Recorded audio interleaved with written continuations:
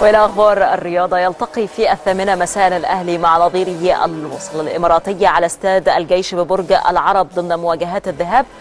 من دور الستة عشر لكأس زايد للأندية الأبطال ويأمل باتريس كارتيوتس المدي المدير الفني للأهلي في تحقيق الفوز على الوصل بنتيجة كبيرة قبل مواجهة الإياب في الإمارات. وكان الأهلي صعد لهذا الدور بعد الفوز على النجم اللبناني بأربعة أهداف مقابل هدف بمجموع اللقاءين